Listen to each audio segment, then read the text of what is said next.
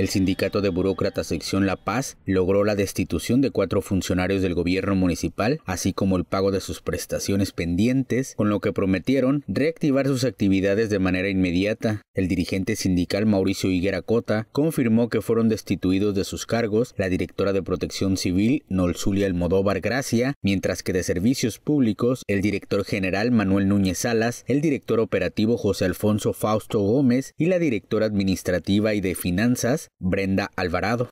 Caso de aquí de Servicios Públicos es el director operativo y la directora administrativa, son los cambios que nosotros habíamos solicitado y que vuelvo a repetir y, y discúlpenme que sea reiterativo, pero también han sido otros órganos que habían solicitado eh, los cambios en, eh, en, estos cargos.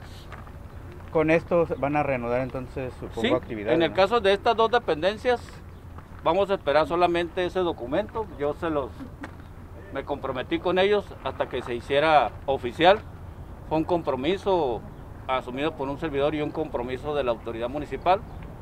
Eh, aquí de alguna manera, ya que se tenga, los podré convocar a los trabajadores de estas dos dependencias para poder eh, dar lectura al acuerdo celebrado.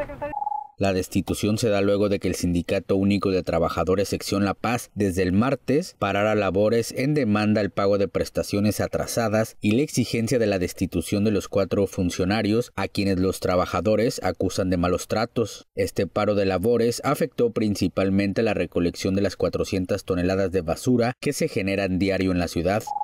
En estos tiempos de tan complejos que nos ha tocado vivir y en una situación que en mi registro no hay registro en mi memoria de que de lo que actualmente estamos viviendo en lo personal considero que es una buena negociación en base a las finanzas y en base a la recaudación, a la recaudación que se tiene y también en base al escenario tan difícil que teníamos al enfrentar esta situación. Como ciudadano expreso de manera personal mi disculpa a la ciudadanía porque eh, esto, esta instancia es la última que nosotros hubiéramos querido llegar. Sin embargo, la autoridad municipal no nos dejó otra opción. Ellos fueron de alguna manera quienes nos llevaron hasta esta situación.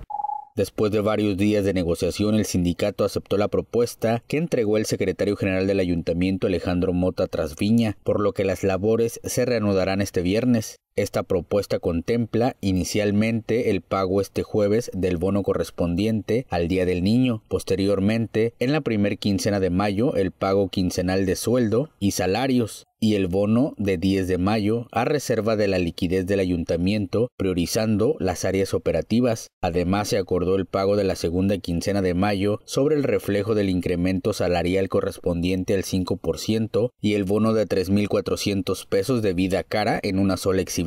Con imágenes de Rosy Díaz para CPS Noticias, Ezequiel Izalde.